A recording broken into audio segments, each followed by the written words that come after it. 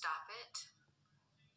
Training our bladder with our nervous system. And then I'm getting ready to record the module on the Kegel. There's the front Kegel, the back Kegel, the global, global Kegel. And so it's a good one. It's it's important because we're not taught these, right? So we're not taught how to Kegel. We're just expected to understand how to do it. And you know, so I, I, tell, I teach you in depth. You're going to know how to Kegel at the end of this. Big time.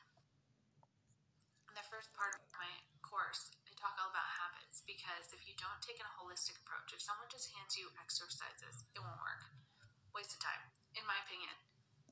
I don't see how it could ever work if you've never addressed someone's bladder habits. You could Kegel till the cows come home, do them perfectly, but you're peeing just in case, you're rushing to the bathroom, you're hovering, you're pushing to pee, you're not in a good position posture, you don't know what bladder irritants irritate your bladder, you will not have long term success.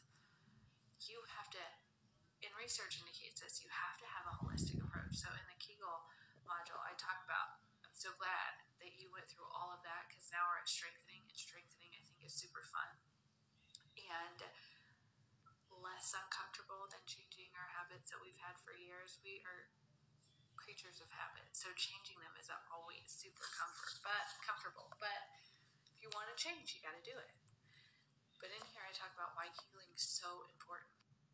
Pelvic floor strength is so important to have because, first, sexual function, the ability to orgasm, the ability to not have pain with intercourse or intimacy in general, um, continence, strong pelvic floors with help hold urine in so it doesn't leave our body without permission also helps hold poop in. We don't want that happening.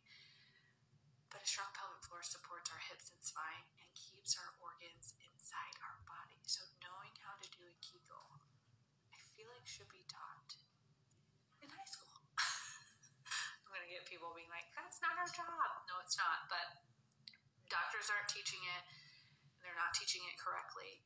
And so it's so important to understand how to do a Kegel appropriately and how to do it for success and how to progress it. It's an important concept. I was 19, I was diagnosed with a bladder and rectal prolapse, and the lady looked at me. It was such a bizarre, now like knowing as much as I know, what a bizarre encounter very transactional, but she, um, I was saying, I run on the treadmill and I pour urine, and she said to me, she looked right in my eyes, and she goes, "You must be a fast runner. What a great workout! Just chalk that up to having a really great workout. You're putting your muscles under stress, so that's great." And I was like, "Okay." When I look down at myself and I'm just pouring urine on the treadmill and I can't stop it, that's a good thing. Okay. No. And second, she when she figured out I had a prolapse, she was like, You can't ever lift weights again. Like, you can never squat again. Don't ever do anything of that nature. And instead, she was like, She should have said, I'm going to send you to someone who knows how to teach a Kegel appropriately and activate your pelvic floor. I'm going to send you to someone who's an expert because I am not, even though I'm an OBGYN. I know someone who can do this better. That's their area of expertise. Because if I tell you to stop exercising and stop building muscle, that strength, your hormones, your mental health, your ability to stay independent long term. So even though you're 19 and everything's easier at this time, even though with all this pelvic floor dysfunction, telling you to stop exercising at this point would be detrimental to your long term independence. That's what she should have said. But instead, she directed me to stop lifting weights entirely because I was going to cause my organs to fall out of my body, I think is what she said. And I'm for sure going to prolapse my organs when I have children, so just don't even take the chance. Gosh, if I could see her today. I forgot to answer this question yesterday. I so apologize to the person who asked. She was asking, is it too late for me? I, I think she said 60 or 73, I can't remember The pelvic floor is a group of muscles. Muscles can always be strengthened.